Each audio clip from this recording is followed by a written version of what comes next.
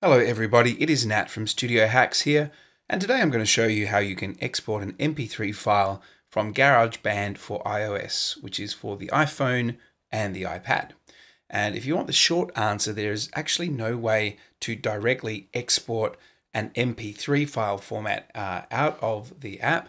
However, you can export a M4A which is Apple's version of an MP3, a compressed file format. It's known as a lossy format, which means that you will lose a little bit of audio quality, but the file size will be much smaller. You can also export uncompressed audio as a WAV or some other formats, which I'll show you. So this is the screen that's open up. It's the last project that I had open on GarageBand. And for us to export this as an MP3, I'm going to click on the downward facing arrow on the top left corner right here.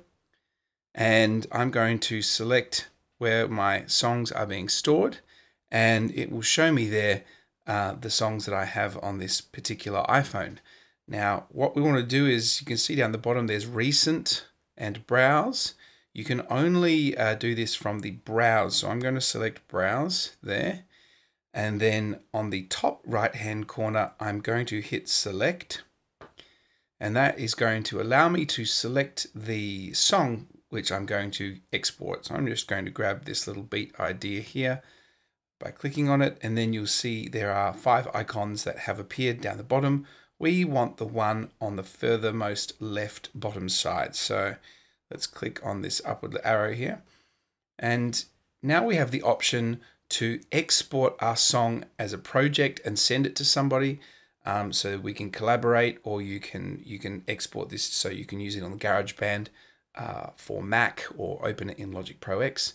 We can also uh, export our song as a ringtone to use on our phone and I'll cover that in, a, in another video. What we're doing today is selecting song. So tap to send your song as a stereo audio file. So let's see what options that will now give us. So these uh, low, medium, high, and highest quality are all lossy compressed formats, very similar to an MP3. This will create an M4A file. I would highly recommend only using highest quality or high quality. Um, you really don't want to be using medium or low quality. I don't know why they've even allowed you to have those options. Most of us are on broadband or high speed internet these days, and you will really hear a, a huge degradation, a degradation rather, of quality with the medium and low will be almost unlistenable. So I always select highest quality because your uh, two or three minute songs only going to be three or four megabytes. We also have the option to select Apple lossless at 44.1 kilohertz 16 bit or uncompressed AIFF and uncompressed WAV. Now we can change these uh, settings so we can get a higher quality audio. We can get 48 kilohertz and 24 bit. I'll be covering that in another video, um, but this is what we call Redbook audio CD quality, very high quality audio. That's the Apple lossless or the AIFF or WAV file there. Um, and then down here we can uh, we have some metadata that we can add and you'll notice that we, and, and also an image, you'll notice that it's grayed out at the moment because you can only add metadata to the compressed file formats, not the uncompressed. So I'm going to select this highest quality and now you'll see I can uh, select the artist, the composer, and the album. These are like meta tags, and you'll see them in iTunes or um, if you have a tag editor. And you can also choose a cover image uh, from the photos on your phone. Um, so I'm going to go ahead and export at the highest quality. And then uh, to do that, all I do is hit share on the top right hand corner. And then it's going to give me a list of options. So I can message that to some recent um, friends or contacts that I've been messaging. Um, and then it also gives me the option to do airdrop if somebody's nearby or to a, another uh, Macintosh device, such as a Mac laptop or iMac. Uh, you can message this file to someone, and these the options that appear here will depend on what apps you actually have on your iPhone. Because I use Gmail on my iPhone, uh, Facebook Messenger, and Dropbox, they've appeared. Um, you'll notice there's a, a, whole bunch of options here. I would really only uh, ever use AirDrop, message it to someone possibly, or use Gmail.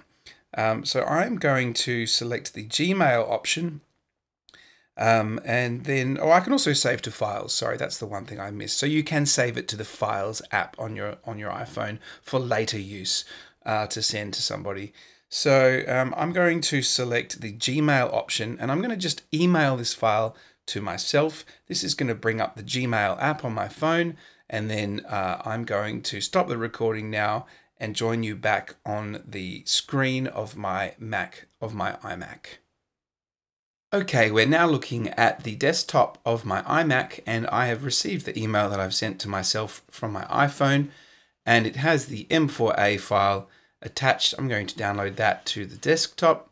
So here is uh, the file that we exported from GarageBand and if I want to create an MP3 from this file, I can do so uh, in iTunes or with a third-party audio converter. I have a audio converter called Pro Audio Converter that I use. It's fantastic, and uh, I can convert that to an MP3 uh, or any other uh, format from a large list of formats. And then when I hit encode, it's simply going to re-encode that file as an MP3 file. There it is. There's my MP3. And one final thing, um, I'm going to very quickly show you how you can use iTunes uh, to turn this M4A into an MP3 file uh, if you're interested. Now, I am on uh, the latest iOS, which is Catalina, and I do believe it, uh, iTunes is now just called Music. Uh, it's the same icon. So I'm just going to uh, fire up iTunes and I'm going to drag the M4A in. But before I do that, I need to go to file, uh, sorry, the music and preferences, and under the files menu and the import settings, uh, normally this is on uh, the ACC encoder. I need this to be MP3 encoder, and I'm going to select highest quality. I will create a separate video uh, going into more depth uh, on this particular um, technique of converting to MP3. I'm just going to show you very quickly now that it can be done when I drag this in. Uh, let's just go to songs. I'm just going to drag this into my songs. It should now be under recently added. I'm going to click once on that, select the song here, and then under file, I can select convert, create MP3 version. So it's just automatically started playing there. And now this is the MP3 version. I should be able to reveal that in the Finder and it will show me, there we go. So this is the M4A originally that I um, brought in and now here's the MP3 version. So um, I will do a more in-depth video on that and when it is finished I will pop the link in the description.